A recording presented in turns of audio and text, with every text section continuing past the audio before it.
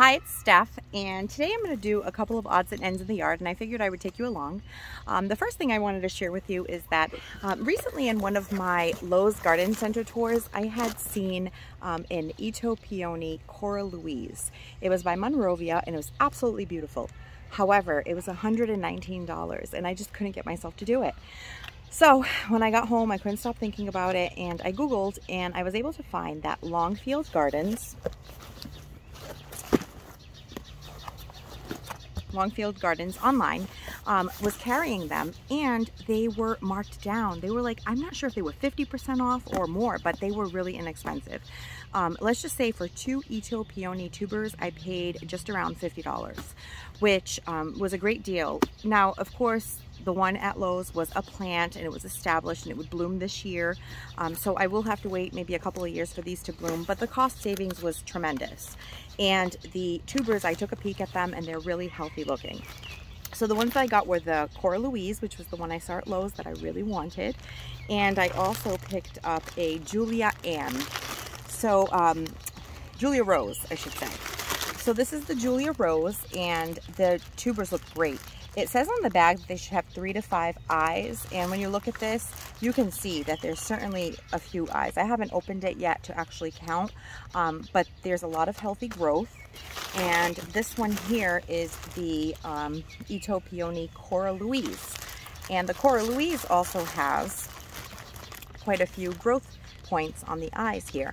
So I was really happy with these. Um, I am going to pot grow them for a few weeks until um, the area that we want to put them in. I want to place them in an area that still has some sod down. So we have to lift that sod before I can plant them. So what I'm going to do is I'm going to pot, pot them for a couple of weeks and then we'll plant them out when the area is prepped. Um, the other thing that I wanted and I ended up ordering on a whim, I had already hit my shipping, minimum free shipping limit, but I had planted out my dahlias this week um, and there were two on my wish list that I hadn't bought and I had already kind of reached my budget for the year for dahlias. So, um, you know, I wasn't planning on it, but they had them available. They were marked down. They were under $10 a piece for three tubers. So I went ahead and did it. One of them is the Dinner Plate Dahlia Thomas Edison. So the bag feels pretty heavy, which is good. It's a good sign. It means the tubers are, are not dehydrated. And when I was kind of moving them around, um, I could tell that a lot of them already had eyes, which is also another good sign. It's showing active growth. And the other dahlia that I picked up was the HS, the single HS date, which is a really pretty like um, like an apricot color, like orange. Um, I'll pop a picture up on the screen. But anyway, I purchased this one also. There's three tubers. So I'm going to go ahead and plant out the dahlia tubers. Um, I have one other dahlia from Walmart that I bought that I need to get in here. And what I'm going to do is I'm going to remove some bok choy that is bolting Bolting just means that it's now going, going to flower because I need the real estate. So I'm gonna go ahead and pull that bok choy. I'm gonna plant some tubers there. I have most of my stakes up already. Now I did plant my dahlias really intensely, meaning I only gave them maybe 10 to 12 inches a piece. Um, but I'm kind of limited on space to just this raised bed garden. And so now I'm, you know, dubbing this my potager because I'm growing vegetables and flowers um, in the same space. So what I'm gonna do is I'm just going to you know, try to uh, keep them as staked as possible to kind of get them growing upward in their allotted space and hope for the best. So yeah, let's go ahead and get that done.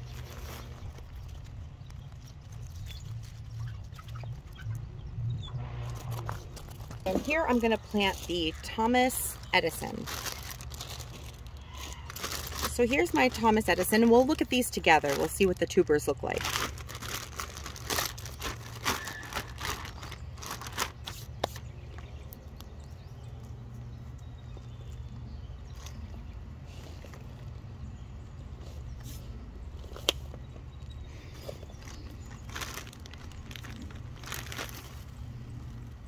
Okay, so it's a nice clump. Here we go. So this is what you're looking for. You kind of inspect the tuber and it's so tiny I keep losing it. But I can see right in here, right in here, you can see that there is eyes emerging. So that's good. So that's tuber number one. Should be three in here. Here's number two. Yep. And this one is a little more obvious right there. And number three has active growth. So that's easy to tell. So we're gonna go ahead and plant these. Now the way that I plant my dahlias is that I just dig a hole and then I add bone meal to the hole and then I just cover them up. And I try to go down about six inches, but that's kind of a loose guesstimate to be honest. Um, as long as they're deep enough where I can get a good amount of soil on top, I don't worry about it too much. So I'm just gonna dig a hole. Oh, some gnarly roots there. And I'm going to plant all three here in this corner.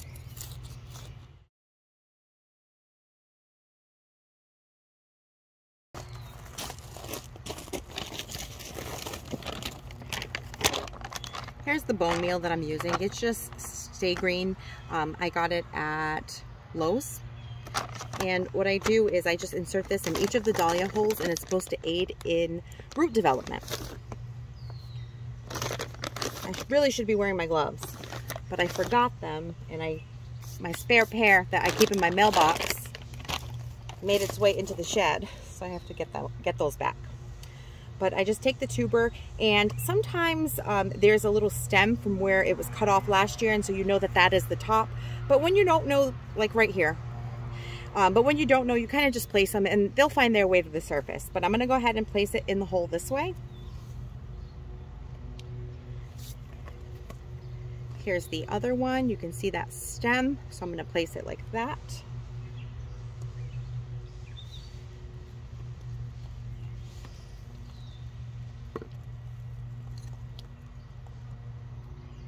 And then you just backfill them. You cover them back up.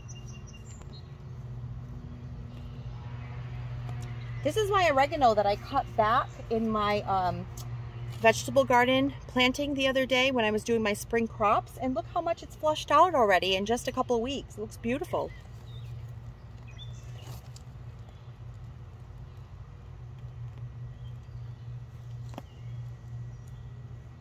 Now, the other thing you want to do when you plant your dahlias is you want to insert your stakes pretty much immediately because that way you kind of know where the tubers are and where to place them.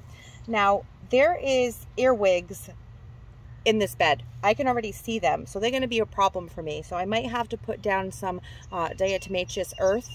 I never say that right.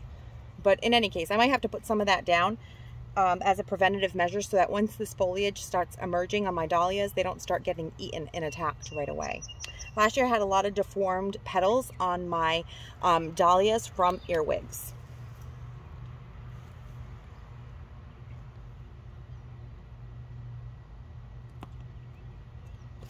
So here are the stakes that I'm going to use. They're just bamboo stakes. These happen to be six feet tall.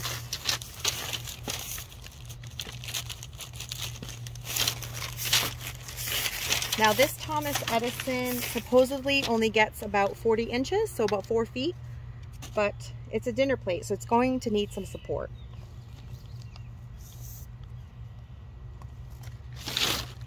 They have really large blooms, dinner plate dahlias.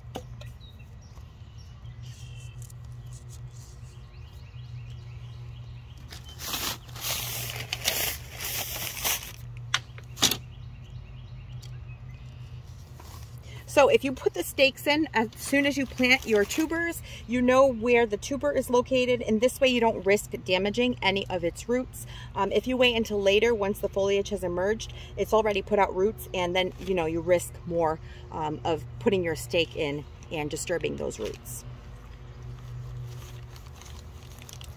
And the last step is going to be to insert a tag so that you know what dahlia you planted in what spot.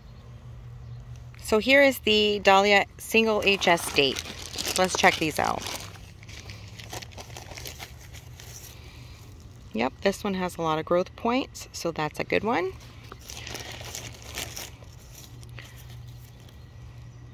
Active growth. So far, two out of three looking good. And number three. You can fish through the bag because sometimes, you know, there's extra tuber pieces. Um, if they have an eye on them, then, you know, it would be safe to plant them. But if they don't, most likely they're not going to be viable. So you can kind of discard them or you can throw them in dirt and see what happens. Okay, one last thing to do to the dahlias, and that is top them with these cute little terracotta pots. So a few months ago when it was end of winter, beginning of spring, the Dollar Tree had just put these out. I got them at the Dollar Tree. So for a pack of three of these mini terracotta pots, it was a dollar. I know the Dollar Tree is a dollar twenty-five now but it was still a dollar then. And I'm gonna um, go ahead and place these on the top of my dahlia stakes. But they also serve a purpose. And I had done a little bit of research about earwigs and one of the videos that I watched actually on YouTube, and if I can find it, I will link it below. A person had um, used these with straw inside them. And what that does is that the earwigs will go ahead and climb into that straw and they kind of get stuck there. So it becomes like, um, a, like a trap for the earwigs. And you're supposed to go in there periodically and clean them out. Probably daily, but I'll be honest, I probably will not do it daily. Um, but as often as I can remember. And if it works, it'll be really helpful because last year I had a lot of earwig damage on the petals to my beautiful dahlias. So I'm gonna go ahead and give that a shot and I think it'll look really cute too. So this is what they look like and I bought like maybe six or seven packages. So let's put them on.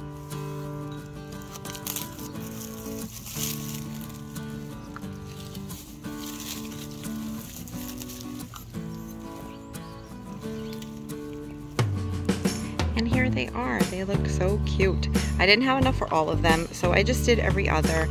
And I mostly stuck to the ones that were flatter on top because some of the bamboo sticks are a little bit crooked, you know, just the way that the, it's a natural material. So some of them aren't perfect. And that's what I did. So I figure if some of these trap earwigs, it's better than none of them trapping them. But I also think it adds a very nice decorative touch.